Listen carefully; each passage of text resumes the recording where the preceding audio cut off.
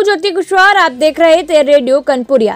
राम मंदिर का निर्माण लगभग पूरा हो चुका है। प्राण प्रतिष्ठा के लिए मंदिर को तैयार किया जा रहा है, जो कि 22 जनवरी को रामलला भव्य मंदिर में विराजमान होंगे। इसके लिए निमंत्रण पत्र बांटे जा रहे हैं। इसके लिए पीएम मोदी सहित कई बड़ी हस्तियों को निमंत्रण पत्र मिल चुके हैं। वहीं अयोध्या में भगवान रामलला के पूजा और अर्चना के साथ पुजारी के लिए भर्ती प्रक्रिया चालू हो गई है। अयोध्या के श्री राम मंदिर में पुजारी के रूप में दुधेश्वर नाथ वेद के छात्र मोहित पांडे का चयन हुआ है।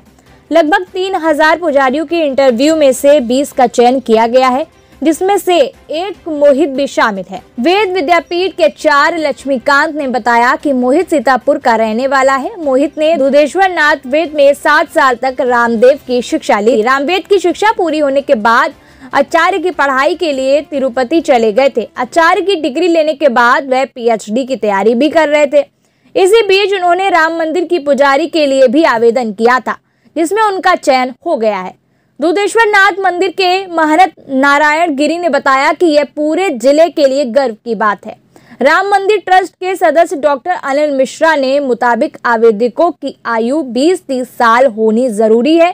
इसके साथ ही आवेदक ने छह माह की श्री नाराम नंदी दीक्षा ली और गुरुकुल शिक्षा में पढ़ाई होना अनिवार्य है। राम मंदिर तीर्थ क्षेत्र ट्रस्ट ने अभी हाल ही में पुजारियों का वेतन बढ़ाया था। श्री राम मंदिर तीर्थ क्षेत्र ट्रस्ट ने अभी हाल ही में पुजारियों के वेतन बढ़ाया था। ट्रस्ट ने मई में पहला इंक्रीमेंट देते हुए मुख्य पुजारी को पच्चीस हज़ार रूपए और सहायक पुजारियों को बीस हज़ार रूपए देने का निर्णय लिया था। वहीं अक्टूबर महीने में दोबारा मुख्य पुजारी का वेतन पच्चीस हज़ार रूपए से बढ़कर बत्तीस हज़ार नौ सौ रूपए और उनके सहायक पुजारियों का वेतन इकतीस हज़ार दिया है। इससे पहले मुख्य पुजारी को महज पंद्रह हज़ार पाँच सौ बीस रूपए और सहायक पुजारियों को आठ हज़ार नौ सौ चालीस रूपए का वेतन मिलता था।